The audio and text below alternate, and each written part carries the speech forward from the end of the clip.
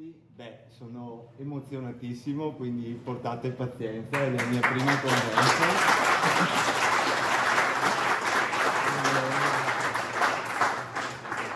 E quindi niente, io appunto beh, mi presento velocemente per chi magari non mi conosce, eh, mi chiamo Enrico Grotto, mi occupo eh, di grafica e comunicazione e negli ultimi anni appunto eh, specializzando appunto eh, nel product rendering eh, con Blender e in generale appunto in vari ambiti legati al programma e anche alla formazione del programma come formatore accreditato dell'associazione Blender Italia che approfitto per ringraziare e ringrazio anche tutti i presenti per appunto anche l'opportunità eh, di, di, condividere appunto eh, questa esperienza dell'utilizzo di Blender eh, come appunto strumento di supporto all'ufficio marketing e comunicazione interno eh, all'azienda.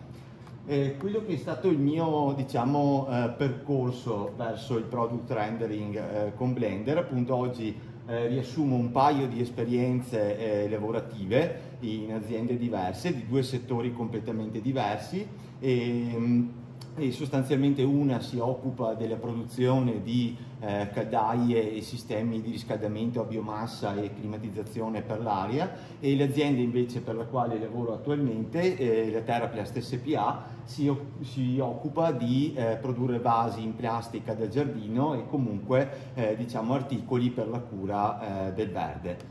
Sostanzialmente eh, ho iniziato, perché Blender? Eh, ho iniziato appunto a utilizzare il rendering 3D in una ancora precedente esperienza lavorativa con dei software commerciali e lì diciamo è stato letteralmente amore a prima vista per me per il rendering perché come grafico diciamo eh, ci ho visto veramente grandi opportunità di potermi creare in autonomia quelli che erano i contenuti che poi dovevo utilizzare eh, appunto per pubblicizzare i, i, i prodotti eh, solo che eh, sostanzialmente i software commerciali li utilizzavo prettamente al lavoro e avevo bisogno di una eh, soluzione che mi permettesse anche di formarmi eh, in autonomia e per me diciamo i software commerciali al tempo erano poco accessibili e anche la formazione per i software eh, commerciali era poco accessibile e quindi eh, sostanzialmente è rimasto un lavoro che svolgevo in modo saltuario solo al lavoro. Poi parlando un giorno con un mio collega che ringrazio, sostanzialmente mi ha detto ma hai mai sentito parlare di Blender?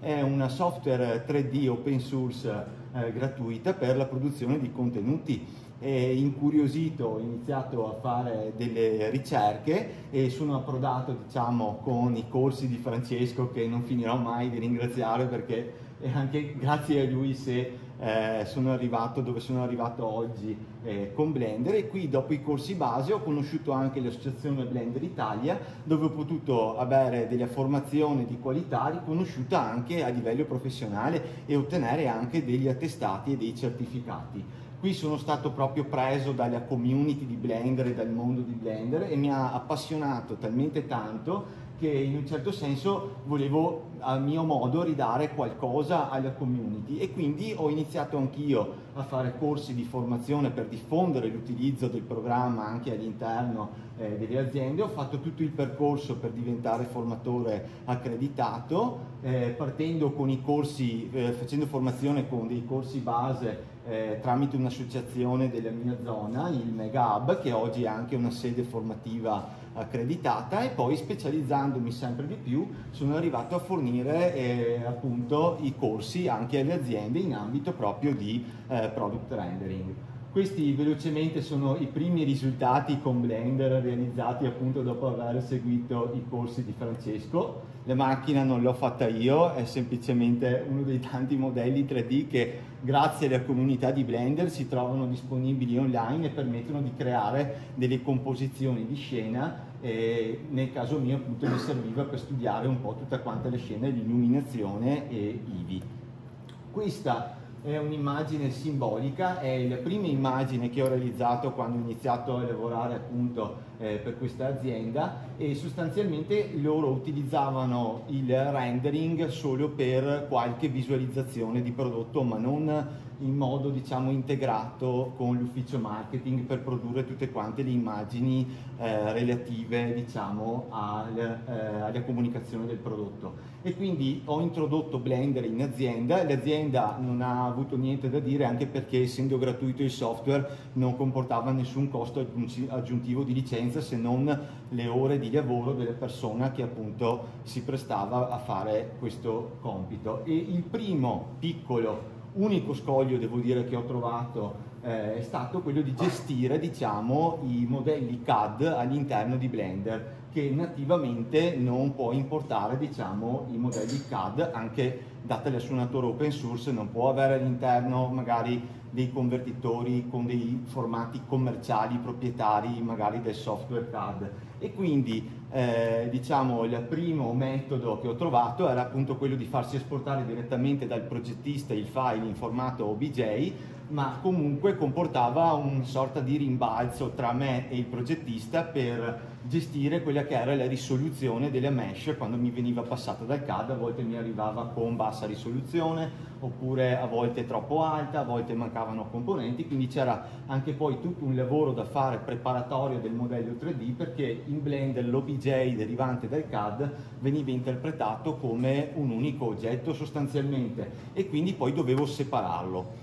Dopo le continue ricerche a rimarcare il fatto che la community di Blender è veramente vasta e per Blender si trovano soluzioni dappertutto, all'ennesima ricerca, parola chiave sarà su Google import step in Blender, finalmente mi è apparso questo add-on che sostanzialmente ci dà la possibilità di importare direttamente i file step nativamente all'interno eh, di Blender visto il prezzo non ci ho pensato un attimo, l'ho acquistato io, l'ho fatto acquistare anche all'azienda e con questo software, eh, scusate, con questo eh, add-on noi abbiamo la possibilità appunto di importare i file CAD all'interno eh, di Blender. Primo passaggio che ho scoperto diciamo eh, fare, che, o meglio che bisogna fare, è eh, tra virgolette pulire un po' il file step perché ogni CAD lo scrive a modo suo quindi con FreeCAD anch'esso open source vado ad aprirmi il modello eh, 3D, seleziono i solidi che mi interessano e poi vado a riesportarlo nuovamente in formato step. In questo modo FreeCAD va a riscrivere il file e ho visto che mi risolveva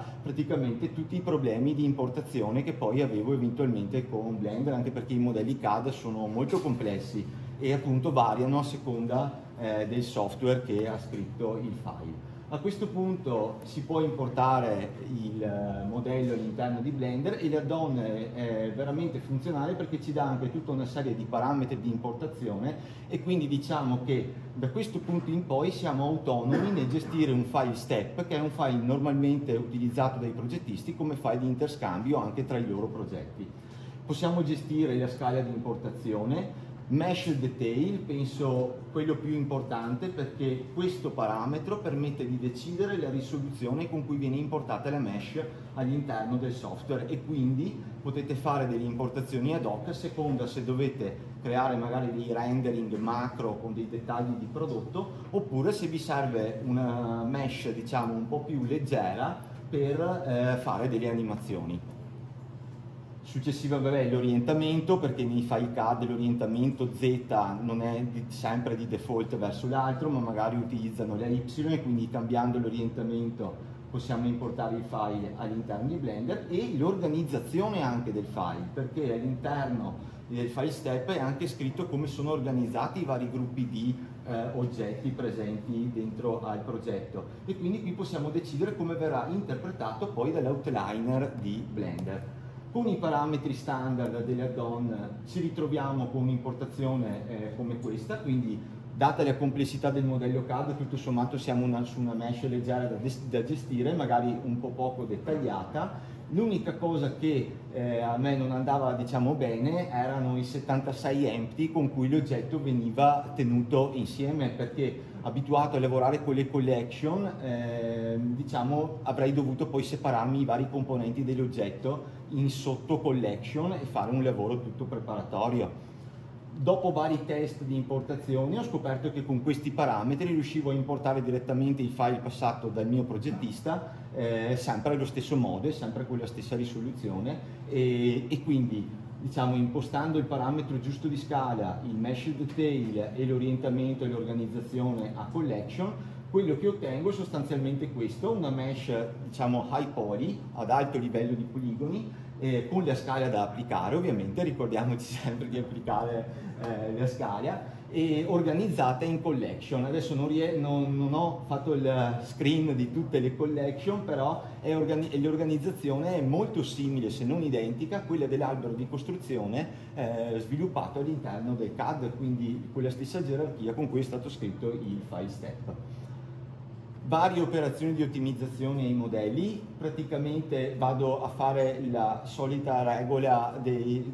praticamente risolvo vertici duplicati, applico le scale, controllo l'orientamento nelle normali, ma soprattutto vado a nascondere tutto quello che non mi serve renderizzare di quel modello, ottenendo così una mesh molto più facile da gestire anche a livello di memoria e di RAM. A questo punto ci ritroviamo che in Blender siamo riusciti finalmente ad importare il nostro modello 3D CAD direttamente dal progetto, quindi abbiamo un modello ideale e tutto con le dimensioni corrette. A questo punto dobbiamo svilupparci dei materiali per comunque vestire il nostro eh, prodotto e poi eseguire il rendering. Normalmente quando eh, inizio diciamo, i progetti o comunque in questo caso quando ho iniziato a lavorare per questa azienda non c'era ancora l'asset browser di Blender, ho organizzato un file di Blender con tutta la libreria dei materiali eh, presenti nelle finiture dei prodotti. E grazie agli strumenti della viewport di Blender ho potuto insieme alle proprietà e ai responsabili concordare l'aspetto di quei materiali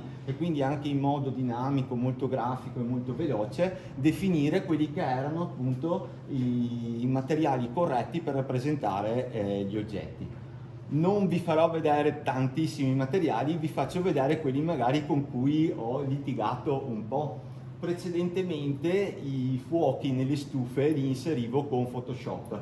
eh, mi sono appassionato a Blender, mi sono intestardito, ho detto no, io il fuoco lo voglio mettere direttamente dentro alla stufa durante il rendering. E quindi mi sono praticamente eh, organizzato e ho creato, o meglio abbiamo acquistato eh, delle immagini di un fuoco su fondale nero e queste immagini le ho poi eh, mappate su una mesh e tramite questo semplice setup di nodi con lo Use Saturation mi posso gestire quello che è il tono di colore della fiamma con il nodo emission vado a dare quella che è la luminosità e grazie al canale alfa contenuto nell'immagine posso lavorare con la trasparenza e quindi l'unica cosa che vedo è la fiamma.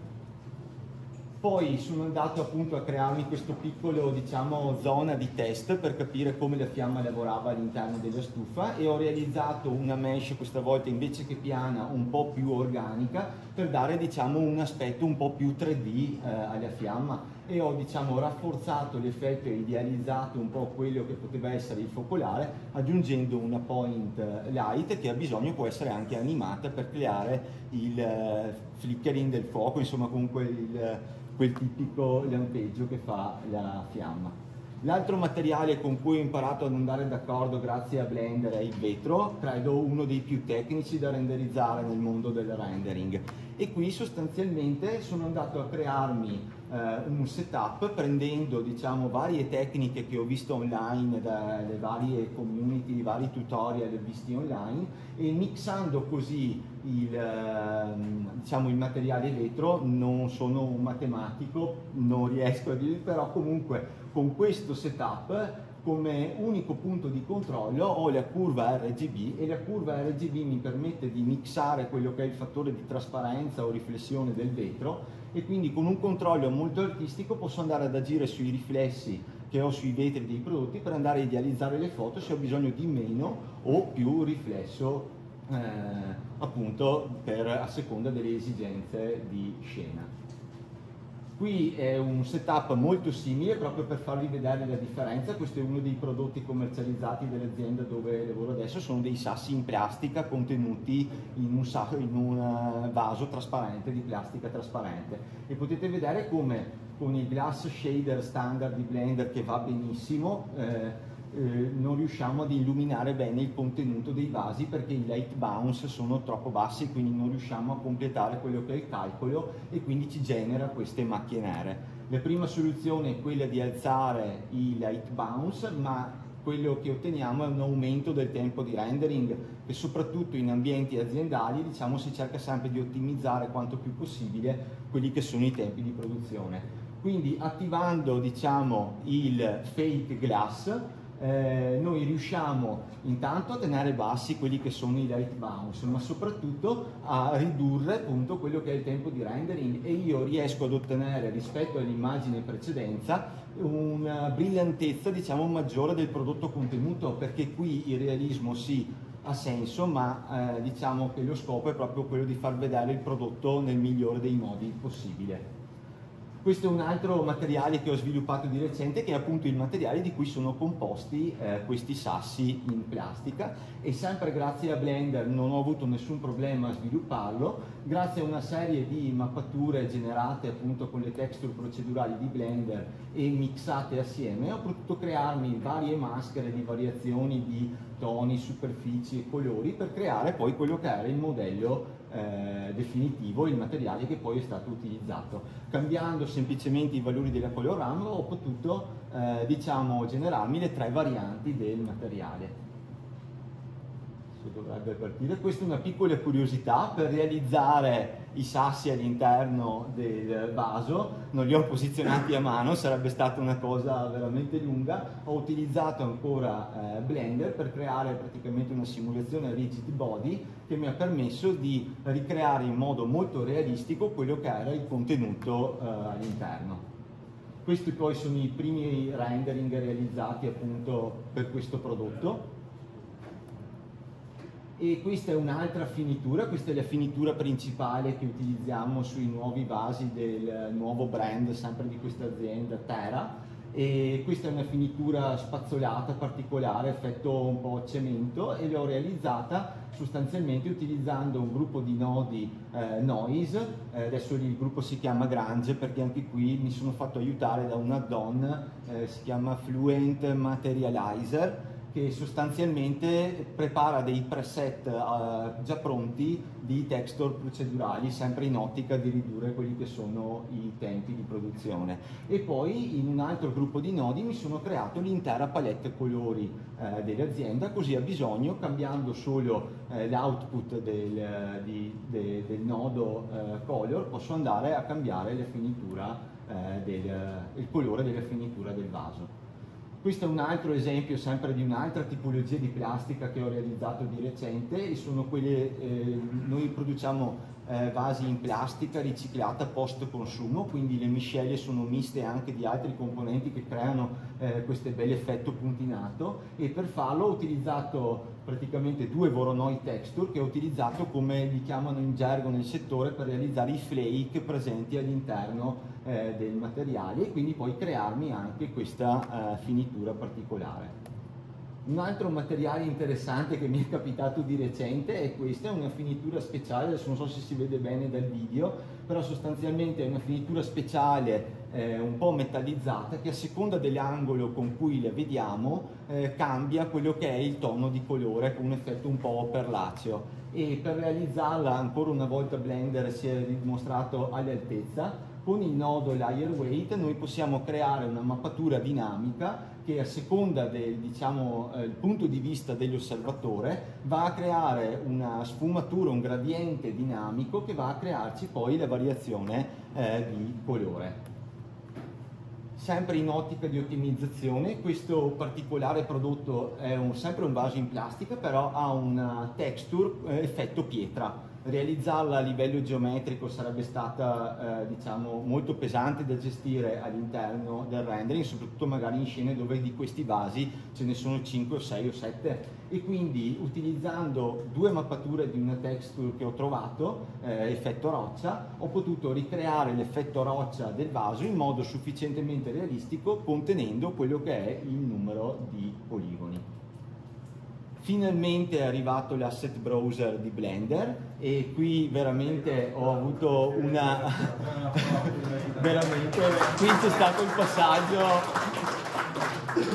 perché questa era una delle feature che io volevo di più e che mi stavano più a cuore perché la possibilità di crearmi un database 3D dei prodotti delle aziende e tutte le finiture mi permette in modo veramente molto veloce di eh, rispondere a qualsiasi tipo di esigenza di immagine e di eh, comunicazione. E quindi uno dei lavori che sto ancora facendo è proprio quello di popolare questo eh, database aziendale di informativo e grafico che tra l'altro chiunque potrebbe aprire e guardare perché Blender essendo gratuito lo posso installare in qualsiasi computer aziendale e chiunque potrebbe avere accesso a questo database. Non solo, essendo open source e garantendo la possibilità di scaricare anche le versioni precedenti, crea un database che può veramente sopravvivere negli anni senza eh, pensieri. Quindi, avendo il nostro modello 3D, i materiali e diciamo, nostre, i nostri asset, le nostre risorse pronte, passiamo a quella che è la eh, renderizzazione dei prodotti, quindi a creare proprio quelli che sono i rendering di prodotto. Questa è una delle tante immagini che ho eh, realizzato appunto e una delle cose che mi veniva chiesta più spesso diciamo eh, dal, dall'ufficio marketing era quella di creare le varianti di eh, finitura sui prodotti. Anche qui avrei potuto farlo con Photoshop o con tante altre tecniche, ma io volevo lavorare eh, solo con Blender, quindi con la tecnica dell'hold out collection ho potuto renderizzare solo i componenti che mi servivano e passare come trasparenza tutto il resto. È importante diciamo perché i componenti si renderizzo solo i componenti ma, com, ma, influenzati da tutte le dinamiche della scena quindi anche dagli oggetti vicini, dalle luci e quant'altro ottenendo un effetto molto più realistico del eh, classico viraggio magari di colore fatto con Photoshop la scena è semplicissima si tratta semplicemente di una stanza. Anche a livello di illuminazione l'HDRI è molto semplice, vi consiglio l'add-on Easy HDRI che è gratuito e permette una gestione un po' più agile di quelli che sono gli environment. E con una luce appunto che ho fatto un'area lamp che ho fatto entrare dalla finestra ho creato questo mood particolare che mi era appunto stato richiesto eh, da, dal brief per realizzare questa eh, immagine le camere, utilizzo sempre camere con focali molto grandi perché mi mantengono le linee prospettiche meno distorte, riesco a ide idealizzare meglio eh, quella che è la foto e anche comunque per dare uno stile all'immagine e queste diciamo sono la configurazione di massima che utilizzavo prima di CycleX per eseguire il rendering. Quindi come potete vedere cerco sempre di tenere eh, i light bounce comunque non troppo alti. Eh, fortunatamente l'azienda qui mi ha dato fiducia e avevo anche hardware a disposizione. Avevo una macchina con due RTX quadro 5000 e quindi potevo esagerare anche con i sample e immagini così riuscivo a ottenere il rendering completo in circa eh, mezz'ora, tre quarti d'ora di rendering, quindi in tempi sotto l'ora di eh, produzione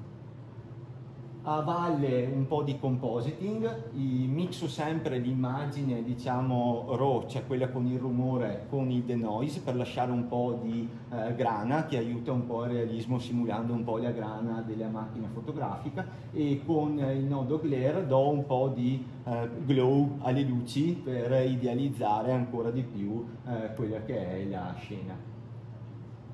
Qui c'è un breve estratto appunto di come vado a settare l'holdout, quindi diciamo che tutti i componenti delle scene li racchiudo in un'unica collection e lascio fuori solo i componenti variabili, in questo caso i fianchi della stufa e sostanzialmente attivando l'holdout e il transparent poi nel parametro film delle proprietà di rendering voi ottenete che cosa? Un'immagine diciamo eh, su fondale trasparente che velocemente eh, poi può essere montata a bisogno anche dai colleghi dell'ufficio marketing. Eh, lavorando in team si devono anche creare dei file molto strutturati perché non si è da soli nel lavoro e quindi qui poi in autonomia i colleghi potevano esportare l'immagine con il colore eh, che volevano, della dimensione che volevano a seconda dell'applicazione.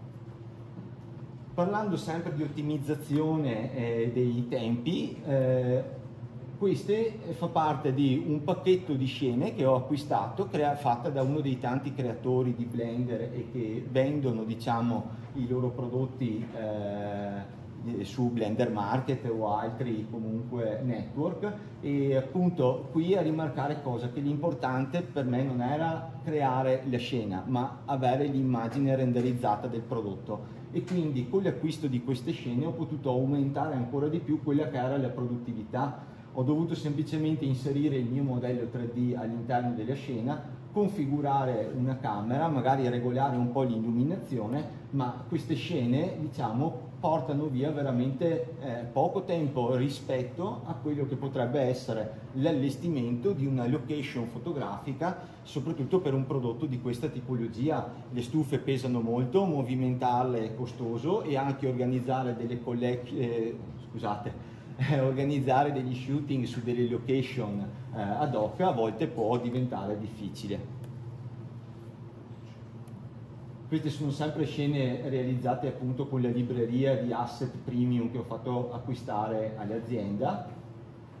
e anche qui delle scene comunque mh, complesse da realizzare anche con il classico sistema dello shooting fotografico. Questa è una stufa eh, molto grande, una termostufa e qui siamo riusciti diciamo, a rappresentarla in un ambiente non solo come un prodotto da riscaldamento ma anche come un complemento d'arredo che quindi va a eh, arredare anche gli spazi. Eh, non a caso ho potuto anche mettere un radiatore sulla sinistra proprio a rimarcare il fatto che si tratta di una termostufa e non di una stufa eh, standard e che quindi può scaldare anche l'acqua eh, dei termosifoni sostanzialmente. Un'altra tecnica che mi aiuta molto nel mio lavoro è il clay render, ovvero renderizzare tutto quanto con un unico materiale. Questo mi permette nella fase di sviluppo della scena di scegliere anche con i colleghi eh, il tipo di illuminazione per il prodotto, eh, quanto il prodotto risalta rispetto agli altri elementi della scena e sostanzialmente riusciamo a pianificare al meglio quella che è la composizione della scena senza essere distratti da tutti gli effetti magari dei materiali o anche dalle decisioni dei materiali perché cambiando un materiale cambia completamente il mood della scena. Quindi con questa tecnica diciamo almeno la luce, i volumi e il prodotto è descritto nel modo corretto, passiamo poi a vestire la scena con tutti i materiali. Questo è un altro esempio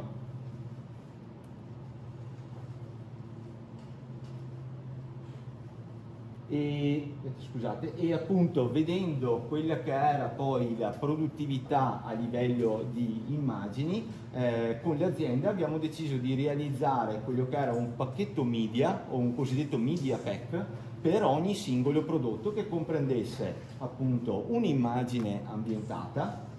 un'immagine still life da diversi punti di angolazione le quali poi combinate assieme permettevano agli altri colleghi di realizzare degli layout grafici diversi al volo a seconda del tipo di strumento che andavano a eh, realizzare.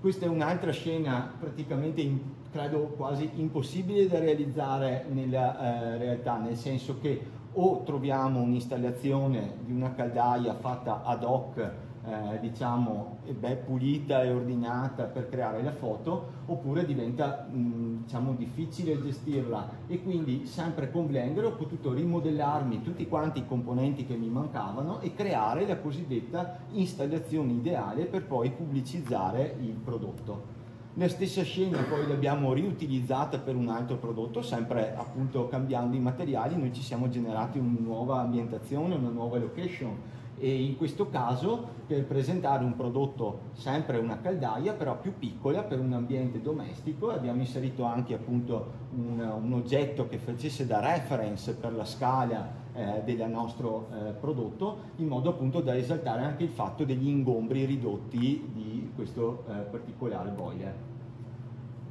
si possono far vedere anche immagini diciamo più descrittive, creare immagini appunto che eh, premiano quello che è un plus di prodotto, in questo caso l'installazione degli allacciamenti idraulici superiori permette appunto quella che è la cosiddetta installazione a filo muro, sempre per ridurre quelli che sono gli ingombri nelle abitazioni.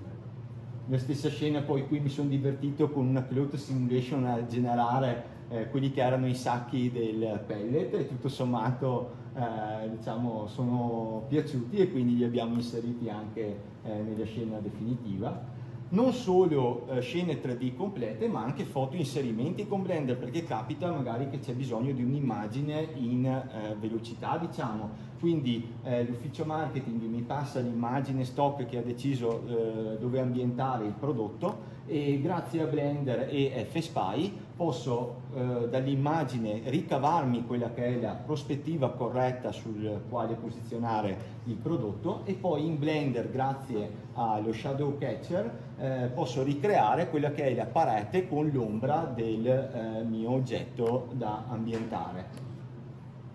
per illuminare la scena e aiutare a fondere diciamo, il prodotto nell'immagine esistente utilizzo la stessa immagine esistente come environment quindi sostanzialmente anche se non è un HDRI mi emetterà comunque delle luci del colore della stanza quindi riesco comunque ad avvicinarmi di più a quelle che sono le condizioni di quella scena e eh, con una luce laterale sulla finestra vado a simulare quella che è la luce che entra appunto da eh, quella finestra per creare il colpo di luce sul eh, prodotto. E questa sostanzialmente è la scena eh, completata alcune applicazioni di quelli che sono questi eh, diciamo, contenuti che si possono produrre appunto grazie a Blender e che ritengo appunto sia un vantaggio per le aziende, la possibilità di eh, creare contenuti ad hoc per per esempio eh, tutti quanti quelli che possono essere i siti web aziendali o anche un e-commerce.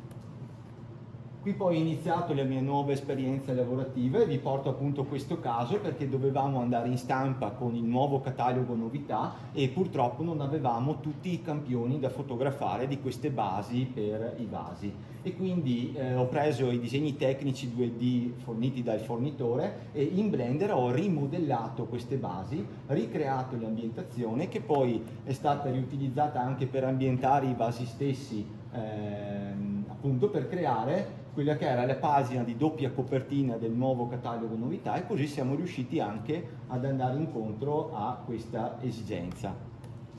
Questi sono altri rendering sempre realizzati con Blender, sempre per andare a popolare quello che era appunto questo nuovo catalogo. E questo caso è interessante perché il mio responsabile mi disse ma riesci a disegnare i cactus con Blender? Io ho detto, oddio, sicuramente qualcuno è in grado di disegnare dei cactus con Blender, ma lo sculpting non è il mio forte. Di, diciamo, quindi non mi sentivo tanto sicuro da partire da zero a modellare un cactus, soprattutto per realizzare un'immagine fotorealistica. E qui di nuovo la community di Blender mi ha stupito perché cercando su Blender Market a 4 dollari ho trovato un generatore di cactus che praticamente permette di generare infinite versioni di, eh, di, piante grasse e quindi con questo ci siamo sistemati tutto il comparto delle piante grasse a vita. Contenuti anche dedicati alla, eh, diciamo, alla continuità della comunicazione delle aziende, per esempio sui social, di queste due immagini vado particolarmente fiero perché sono diciamo, i post, le immagini per i post di auguri eh, di Natale che l'azienda ha utilizzato nei suoi social e le due immagini sono state create praticamente in una giornata di lavoro, tempo di rendering compreso, quindi proprio a quello che voglio comunicarvi è proprio la produttività che si riesce ad ottenere con Blender anche qui questo esempio, sempre la solita esigenza perché comunque in azienda sì, si cerca di organizzare il lavoro, si cerca di schedulare, ma spesse volte capita l'imprevisto. Qui avevamo bisogno di un paio di immagini nuove da inserire in dei redazionali e sostanzialmente con uh, un'unica scena, ecco questa è la scena, è molto semplice,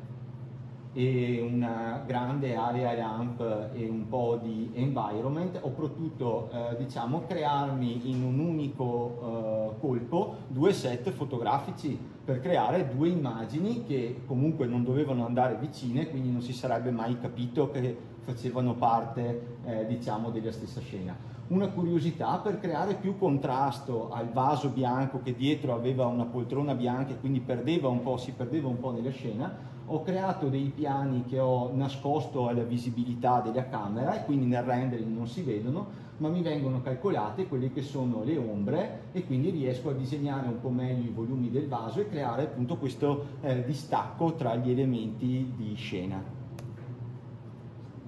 Abbiamo definito insieme eh, con i miei colleghi la scena studio di default per renderizzare i prodotti still life perché eh, quello che ho cercato anche di passare col rendering è il vantaggio di poter creare delle immagini riproducibili o meglio delle condizioni riproducibili a livello di immagini. E quindi realizzare lo stesso prodotto in diverse varianti, sempre con la stessa inquadratura, sempre con la stessa luce, sempre con la stessa posa. E questo permette appunto di avere, eh, soprattutto quando le immagini sono rappresentate una vicino all'altra, una sorta di continuità nello stile grafico eh, della comunicazione.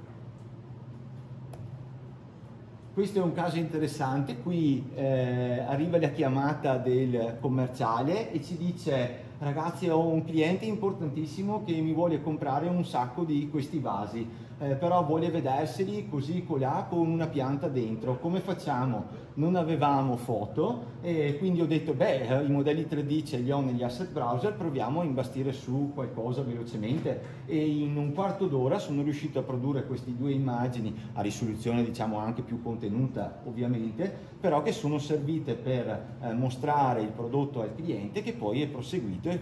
lo ha anche acquistato non solo rendering di prodotto ma anche dei componenti del prodotto, magari per descrivere quella che è una eh, peculiarità eh, del prodotto che normalmente non si vede perché magari è un componente interno che normalmente l'utente non vede. In questo caso è il triplo filtro montato sui climatizzatori d'aria appunto a migliorare quella che è la qualità dell'aria e per realizzarmi la retina diciamo del primo filtro ho utilizzato la brick texture di Blender che ho collegato nel canale alfa e quindi mi ha generato questo effetto di trasparenza con il quale ho potuto rappresentare diciamo, il primo strato del filtro. Il secondo strato, che è sostanzialmente una sorta di spugna o comunque un materiale spugnoso, eh, ho utilizzato, il canale ho utilizzato diciamo, come canale alfa del materiale la mappatura di ambient occlusion che era inclusa con il materiale che mi ha praticamente generato questo effetto di trasparenza con il quale poi ho potuto eh, presentare diciamo, il primo elaborato che poi è stato ulteriormente rielaborato eh, dai colleghi. Quindi appunto Blender anche qui si rileva eh, proprio uno strumento integrato in tutta eh, la pipeline di produzione di quello che è un ufficio marketing interno non solo eh, still life o comunque eh, diciamo, immagini statiche, ho avuto la fortuna di eh, poter cimentar, cimentarmi anche in qualche animazione di prodotto. Faccio vedere questo breve video anche se non c'è l'audio, ma diciamo ci serve più a scopo, così ho due minuti, prendo fiato.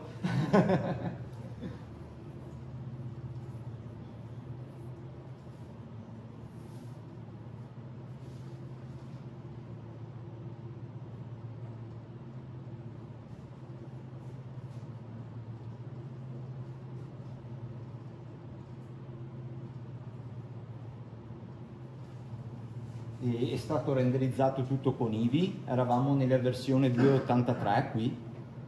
appunto perché non potevo diciamo, permettermi i tempi che avrebbe eh, impiegato Cycles, il prodotto era una, era una novità e doveva uscire diciamo, subito e quindi con tutti quanti gli strumenti offerti da Blender a livello di animazione, rigging e quant'altro, nello stesso progetto, con lo stesso software con cui eh, renderizzavo praticamente le immagini statiche, ho potuto crearmi anche le, le animazioni di quel prodotto, riutilizzando lo stesso modello che avevo renderizzato precedentemente prima.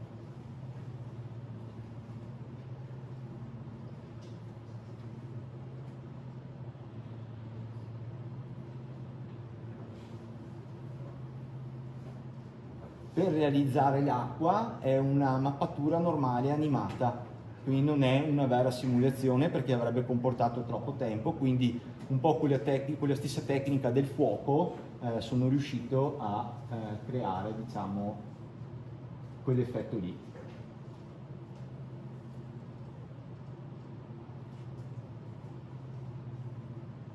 E proprio si rivela versatile il software, nel senso che il pellet l'ho realizzato proiettando un'immagine del pellet scaricata da internet e quindi l'effetto che ho ottenuto era sufficientemente realistico da appunto essere sufficiente per presentare il eh, prodotto. Eh, qualche curiosità in merito a questa scena, l'ho organizzata in un'unica timeline, quindi mi sono tenuto tutto in un file di Blender, non avevo proprio tempo di pensare a come organizzarlo e quindi grazie alla gestione diciamo, eh, a collection in un'unica timeline eh, mi potevo dividere diciamo, gli spezzoni che volevo renderizzare a bisogno per poi seguire anche quelle che erano le varie revisioni al video, i vari cambiamenti e le modifiche che dovevo fare senza dover appunto renderizzare tutto, ovviamente eh, andavo a renderizzarmi solo la parte aggiornata. Se cambiavo un materiale in una delle sequenze, ovviamente essendo un unico modello 3D, poi dovevo aggiornare anche le altre, però comunque questo non si è presentato diciamo, come eh, un problema. Un caso invece particolare che ho visto è che a determinati frame vedevo la sezione che appunto mi, che ho realizzato sostanzialmente animando una, un corpo booleano che va a tagliare gli oggetti, le geometrie CAD, ad alcuni frame funzionava tutto benissimo, ad altri mi spariva quella che era il bordo interno della sezione, cioè la rim appunto di quel materiale lì e non capivo diciamo, bene il perché, probabilmente dato dal fatto che la geometria CAD essendo triangolata e avendo una topologia diciamo, non ottimale eh, probabilmente creava qualche errore. Qui nella 2.83 non avevamo ancora il solver exact nelle booleane quindi non, non c'era ancora quello eh, strumento eh, nessun problema, con Blender ho risolto con uno dei modificatori introdotti credo verso la 2.8 che ha aiutato molto anche il flusso di lavoro eh, diciamo eh, procedurale con i modificatori che è il modificatore WED che sostanzialmente fa una procedura prima della booleana e salda tutti i vertici eh, che ci sono, diciamo, chiudendo quella che è la geometria e permettendo alla booleana di risolversi in modo corretto. Questo è un altro video che ho realizzato, qui ho sperimentato invece con eh, Cycles perché comunque l'animazione era eh, diciamo più ridotta, se internet mi aiuta, è, è in streaming il video quindi se si blocca un attimo portate pazienza. Eh, vediamo se riesco ad avere un po' più di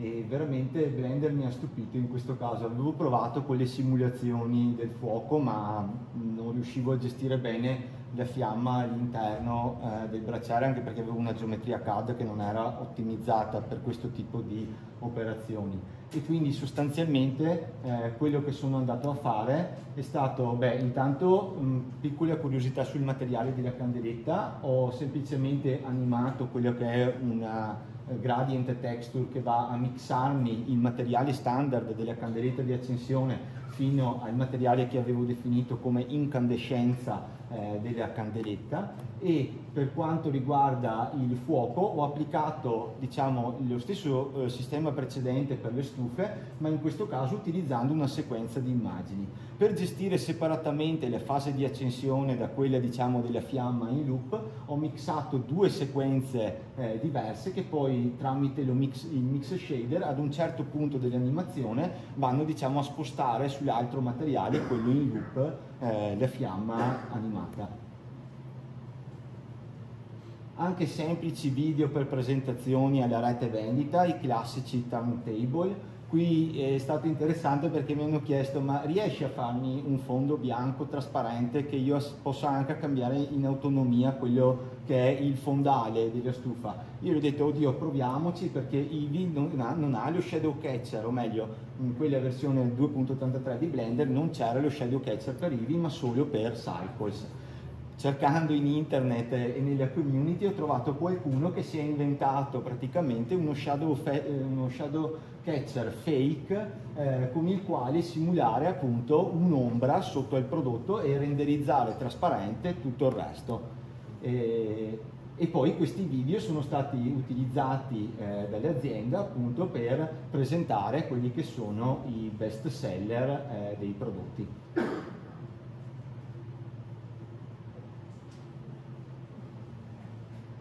E qui ci sono vari prodotti che girano, vado avanti così magari vi mostro anche altro. Eh, questo è stato un po' il risultato di tutte le esperienze fatte con il, le animazioni precedenti, è un video a cui tengo molto, a cui ho dedicato veramente molto tempo e quindi ci tenevo a farvi vedere un piccolo estratto di eh, questo video.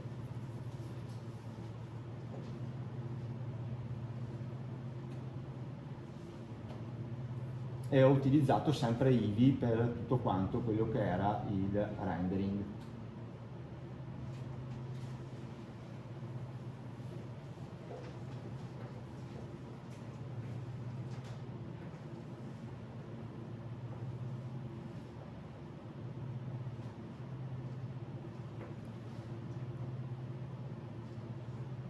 internet ok cambia colore vediamo se riesco ad andare avanti. E si possono creare anche contenuti eh, per dettagli e documentazione tecnica quindi si, Blender si presta veramente eh, nell'utilizzo in azienda praticamente per chiunque produca eh, prodotti, anche se l'azienda non ha bisogno di eh, creare magari dei rendering ambientati o contestualizzare i prodotti, può essere utilizzato come supporto integrativo per creare delle documentazione tecnica, in questo caso vabbè, per un'immagine ambientata, ma magari per far vedere dei componenti interni del prodotto che normalmente sarebbero difficili da spiegare e eh, comunicare dettagli anche graficamente un po' più accattivanti per eh, mostrare diciamo, le varie parti e componenti dei prodotti.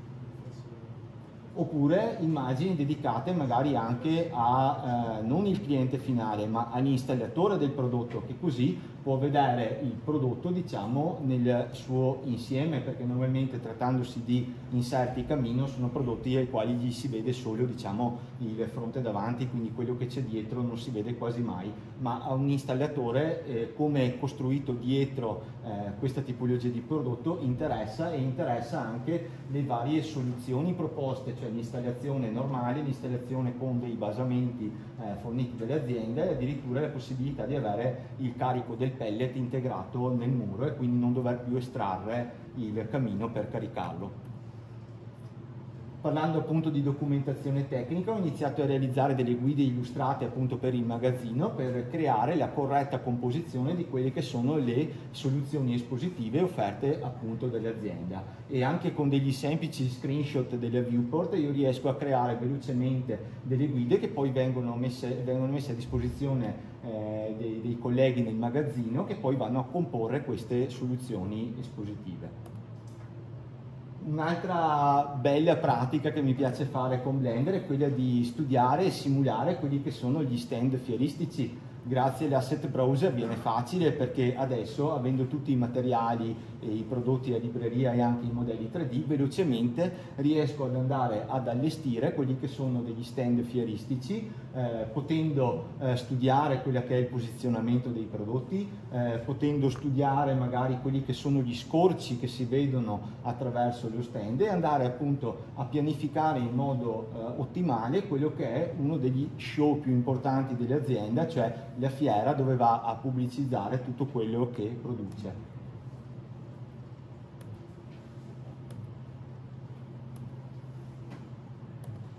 Sono sufficienti appunto anche dei layout fatti così, degli screenshot, questi poi vengono passati agli altri colleghi magari che preparano la lista di prodotti da portare eh, in fiera e di recente il, quello che diciamo impegna di più la mia attività al momento con Blender è quello della realizzazione di spazi, spazi espositivi e simulazioni appunto per il merchandising eh, personalizzate a seconda di quello che è il punto vendita o della soluzione espositiva che vogliamo offrire mi organizzo sempre in uh, collection, ovviamente, così mantengo anche un database di quelle che sono le soluzioni proposte precedentemente e al bisogno le posso variare o uh, integrare con altre variazioni e poi in, nello stesso file mi sono preparato un'altra scena di Blender dove avviene il rendering della soluzione espositiva. In questo modo mi posso istanziare dalla scena precedente le collection che mi servono, creare quelli che sono i layout e nel caso variassi una configurazione poi nei layout di render me la ritrovo diciamo già aggiornata e questo mi permette di realizzare sostanzialmente infinite combinazioni di questa che è un wooden display, è un, sostanzialmente un espositore eh, da inserire direttamente nei punti vendita.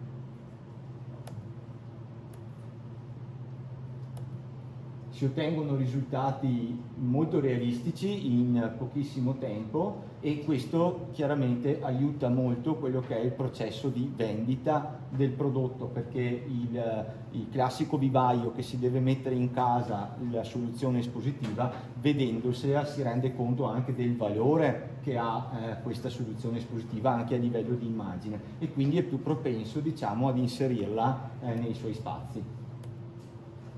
si possono anche progettare delle varianti appunto degli espositori. Questo è un piccolo studio che abbiamo fatto per valutare l'ipotesi di integrare a quelli già realizzati degli espositori un po' più bassi e questo è un breve video appunto a dimostrare il fatto che eh, con le collection di Blender e la struttura eh, che ha il suo outliner in modo molto pratico e veloce riesco a gestirmi eh, n variazioni di questo display box che è sostanzialmente un espositore da banco e quindi a seconda delle richieste che ricevo posso andare a configurare quello che è il prodotto ed eseguire poi il rendering.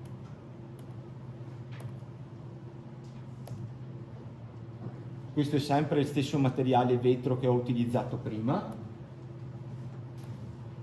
e questi sono altri esempi. Qui è interessante perché abbiamo misurato in maniera molto meticolosa quello che era l'incremento dei vasi quando venivano impilati l'uno con l'altro e inserendo quel dato direttamente in un array spento che ho dentro l'asset eh, del vaso. Quando io mi importo il vaso all'interno della scena ho già l'array pronto con l'incremento corretto e devo solo aumentare il numero dell'array per creare la pila di vasi. Questo mi permette di eh, intanto fare una simulazione precisa delle altezze che avrà il pallet per capire se lo posso appunto spedire poi perché ci sono delle altezze da rispettare ma soprattutto ha scaricato di lavoro eh, il magazzino al quale prima dovevamo fare un ordine dei vasi che ci servivano, andare là ad allestire quella che era la soluzione, misurare il tutto e poi appunto fotografarla per presentarla al cliente. Quindi con questo sistema riusciamo a realizzare infinite simulazioni di quelle che possono essere le,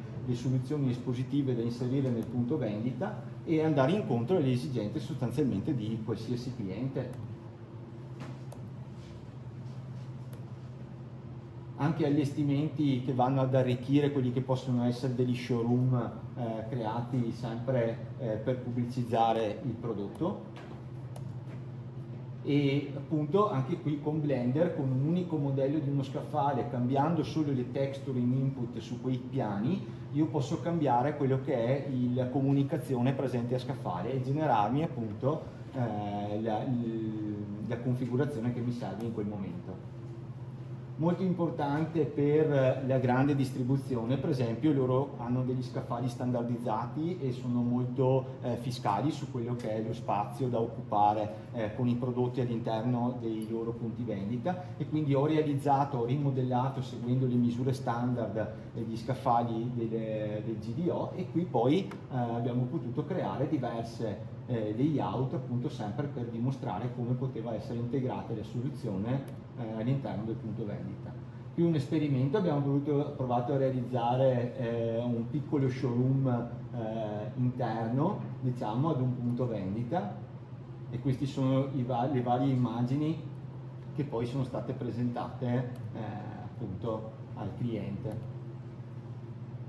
soluzioni appunto per il merchandising, quindi le possibilità di creare quelle che possono essere bandiere, banner, crowner, fianchi, quindi tutti quegli elementi che da grafico creavo in 2D, ora li posso portare in 3D e quasi toccarli con mano. Posso anche creare dei documenti illustrati un po' più tecnici e professionali da poi passare a un eventuale fornitore che deve produrre poi effettivamente questo prodotto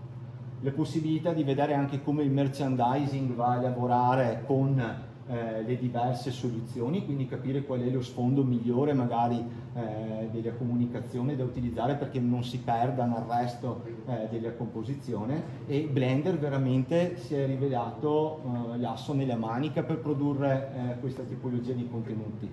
Illustrazioni eh, difficilissime da realizzare con una fotografia, credo, almeno io non sono un fotografo, quindi non saprei da dove partire per realizzare una cosa così. Questo è lo schema per far vedere appunto eh, un class del prodotto che è la riserva d'acqua presente eh, sui vasi che praticamente sostanzialmente eh, permette di curare la pianta, eh, tra virgolette, senza pensarci troppo, eh, diciamo l'indicatore di livello ci indica quando la pianta ha acqua e quando no e quindi irrigando da lì noi possiamo mantenere la pianta sana e illustrazione che poi è servita per creare appunto la comunicazione a scaffale per il prodotto. Un altro caso studio, questo è sempre un prodotto prodotto dall'azienda, è una borsa eh, diciamo quindi esula un po' da quello che è il mercato dei, dei, vasi, è un prodotto interessante perché è un agglomerato di plastica riciclata sempre sostenibile con inserito all'interno eh, quello che è del materiale di sughera, dello scarto dei tappi del sughero e per questo prodotto abbiamo potuto diciamo, sviluppare assieme all'ufficio marketing tutto quello che era eh, il, le cose a corredo, quindi gli espositori, il visual comunque. E in questo caso non, non c'era il modello 3D neanche per i vasi, quindi ho dovuto rimodellarmi un po' tutto seguendo le reference e con le misure diciamo, eh, prese, diciamo, rilevate sul prodotto reale e poi ho ricreato appunto il materiale con quell'effetto sughero interno. La scena, eh, questo è un po' un riassunto di tutta la procedura che si ha con un prodotto fino ad arrivare a delle esplorazioni diciamo un po' più eh, creative, idealizzate, magari per creare eh, dei layout sui siti web. Altre prove con degli espositori e qui diciamo concludo con non solo il lavoro perché eh, con Blender diciamo eh, i, è diventata letteralmente una passione. Mi diverto anche a produrre eh, qualcosa di mio a casa fuori dall'orario di lavoro. E appunto avere lo stesso software che mi permette di creare quello che mi appassiona di più anche al lavoro mi permette di trasferire quelle che sono le varie tecniche che apprendo dai vari mondi, quindi magari eh, realizzando immagini di questo tipo qui apprendo tecniche che poi posso eh, portare sul posto di lavoro e integrare magari per un prodotto o per altri scopi. Grazie.